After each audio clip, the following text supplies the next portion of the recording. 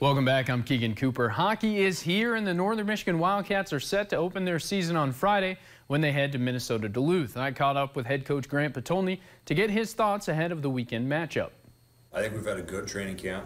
Um, our, we're probably as deep as a group as we've ever had, especially our blue line. Um, you know, even up front, we're we're gonna have players that probably deserve to play that won't be able to play.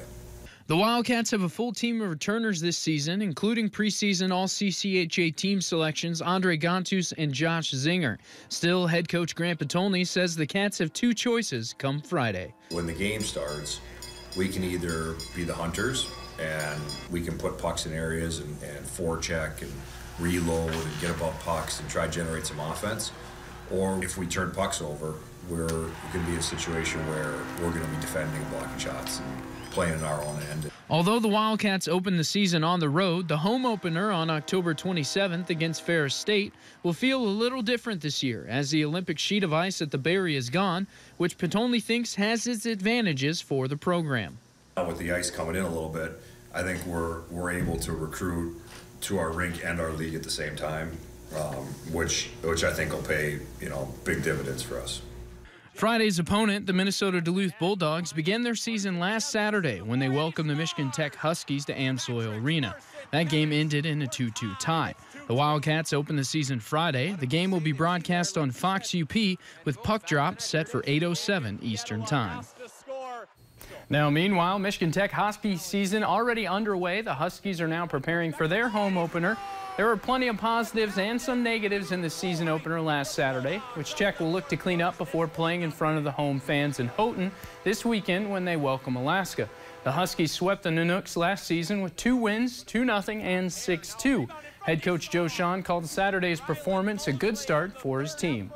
Yeah, I, I don't think there's anything that we didn't expect. We expected a, you know, Duluth to come out and play hard, and they did. They're well coached.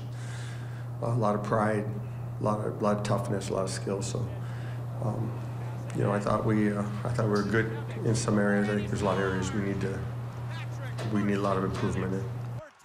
Well, the Huskies are getting ready for their home opener on Friday at 7 o'clock against Alaska. Those two teams will square off again Saturday at 6, and TV6 Sports will be there for all of the coverage. In high school news, the UP High School football poll is out once again. With just a few weeks left before the postseason, teams looking to move up in hopes for a better playoff position. We'll take a look at the 11-player football poll first. Iron Mountain stays on top 7-0, followed by Negaunee, Kingsford, Menominee, and Gladstone rounds out the top five. Shifting to eight-player football, football, excuse me, Pickford stays at number one with a perfect record of 7-0, followed by North Central, Forest Park, St. Ignace, Norway comes in at number five. So two weeks left of the regular season, which means plenty of time for the standings to change. Now jumping to high school volleyball, these Division One through three. Calumet comes in at number one, followed by Kingsford, Manistique, Hancock, and Jefferson at number five. And looking at Division Four high school volleyball, Forest Park in first, followed by Rudyard and Stephenson.